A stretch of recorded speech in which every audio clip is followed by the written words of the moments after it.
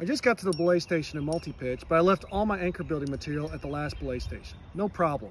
Grab an alpine draw, clip the first ring, fully extend the alpine draw, and try to get the other end with the tab next to the carabiner, just to have it out of the way.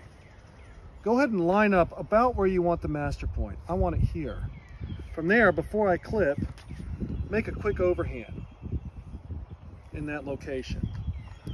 Pull it tight. Double check that the master point's where I want it. It is. I can cinch it really tight. Take a locking carabiner and clip one strand of each loop going up to the bolts. Lock down.